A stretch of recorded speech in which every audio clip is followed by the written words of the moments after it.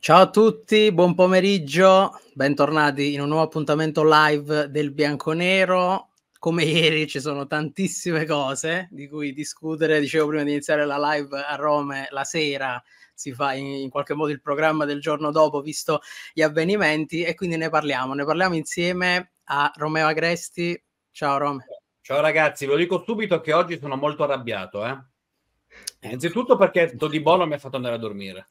Ecco, già questo, partiamo da capo primo. E, e, poi no, non mi è piaciuto minimamente come la Juventus abbia gestito questa operazione, dopo ne parliamo. Cristiano Corbo. Ciao Nino, ciao a tutti. Leggevo anche già i commenti, non sono in nessun parcheggio ed è una cattiva notizia per tutti perché quando non mi muovo vuol dire che... Ti sei imborghesito, ti sei imborghesito. Nessun, eh, ma non c'è nessun motivo per, per muoversi. Quindi... Ormai hai camicia, condizionatore Rolex. Perfetto. No, Rolex non ancora, però stiamo lavorando. Dipende da te, direttore, mettiamola così. voleva prendere, poi ieri ha regalato gli abbonamenti e quindi gli è venuta meno la cifra esatta. E poi il nostro ospite Alessandro Crosta. Ciao Ale. Ciao ragazzi, buon pomeriggio a tutti. Io volevo chiedere una cosa uh, ad Ale, siccome volevo introdurre anche un attimino il discorso appunto esterni, no? Tu lo hai detto, eh, parlando di priorità prima eh, delle, dell'esterna a destra. Io ti volevo chiedere, visto che abbiamo citato anche Cop Miners, secondo te oggi ehm, chi dei due è più necessario in questa Juve? Cioè proprio il, il primo di tutti che va messo lì, va innestato. Allora, per me, per me è l'esterno, per quello che ho visto anche come richieste di Tiago Motta e Cop Miners. Però io credo che l'esterno in questo momento, anche a livello numerico, io ti parlo proprio anche come eh, completezza della rosa, in questo momento con Chiesa fuori, così si dice, ha detto Tiago Motta, con Chiesa fuori hai solo UEA e il Diz come giocatori che ti possono giocare esterni. Soprattutto UEA ti gioca solo a destra, perché a sinistra non vedo un giocatore in grado di giocare con il piede debole eh, sul lato laterale del campo. Anche secondo me farà bene, però in questo momento abbiamo visto nelle amichevoli la Juventus a sinistra sviluppava benissimo gioco, anche con delle rotazioni mi sono piaciute molto e una volta trovato il lato debole, UEA comunque non dico che faceva fatica perché lui ha messo anche molta intraprendenza nel modo di giocare, però una volta sbagliava il dribbling, una volta sbagliava la scelta, mi ricordo un'azione eh, contro il Brest che invece di calciare, eh, invece di passare la palla a Vlaovic, no, invece di calciare, scusate, ha provato a passare la palla a Vlaovic e lì è proprio un errore di scelta, un errore cognitivo dentro al campo, per me non è un calciatore pronto. Io da inizio anno sognavo, da inizio mercato sognavo Sancho, Sancho, eh. per me era proprio il sogno. Io l'altro oggi Ale ci sono delle voci di nuovo da Parigi che lo danno quantomeno tra i monitorati del Paris Saint Germain. Eh, Sancho a me piace tantissimo. Sancho viene Soprat... citato da, da, tutti sempre. Come... Sancho mi fa impazzire, ma io so sempre... ho la maglietta in quell'armadio che si intravede qua dietro. Quindi sei un Sancher, eh, sei un Sancher. È un giocatore che adoro, lo adoro da, dai primi anni al Borussia, eh, ero proprio innamorato. Poi si è un po' perso lo United, però la qualità del giocatore non, non si discute. Ale, Di ma ci dobbiamo che... illudere eh, con UEA? Secondo me farà bene perché comunque l'anno scorso, cioè per me una stagione migliore dell'anno scorso, già con il 6 è migliore dell'anno scorso, con il 6 in pagella, perché non ha praticamente giocato, quindi... No non è neanche valutabile. Secondo me è molto bravo nei spazi aperti e comunque ha una gamba importante, è un giocatore che ha un buon tiro, abbiamo visto che ogni volta che conclude a rete conclude bene, però secondo me non è un giocatore pensante in campo e non è un giocatore da, spa- da, da rifinitura, un giocatore nei spazi brevi secondo me fa tanta fatica, fa tanta fatica nell'uno contro uno quando c'è poco spazio, ovvero quando magari deve puntare l'uomo dentro la di rigore, secondo me fa molta fatica eh, dai nomi che ho letto, contando che Sancho secondo me non è più appetibile, quello che mi piace di più a me è Galeno.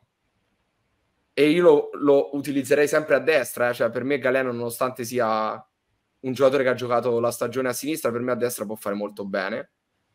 Eh, ad oggi, non, non, da quello che leggo, anche da quello che dite voi, dato che io di mercato non, non ho nessuna notizia, anche lui è un po' in stand by, quindi non so. Non so veramente. Non, Vai no, in chat per farti continuare il discorso parlano anche di Coman, che se non sbaglio era eh, uscita questa magari cosa, una possibile uscita. Ti piace?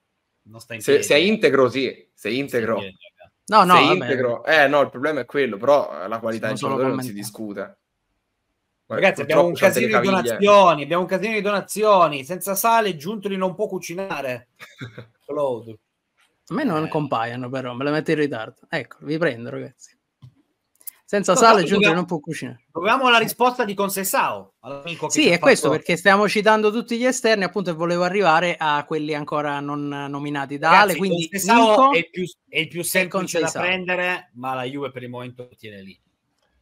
Poi è una strategia che può mutare, un esterno lo compri, se parte Chiesa, un esterno lo prendi in prestito, in questo magari con Sessao ti torna utile, ma per il momento la Juve, quantomeno nelle ultime ore, ha lavorato, oddio, adesso dire con più profitto dopo Todi Bob, ha lavorato con più intensità, ha lavorato con più intensità su Nico Gonzalez, che però per lasciar partire Nico, la Fiorentina, attende di chiudere Gudmundsson.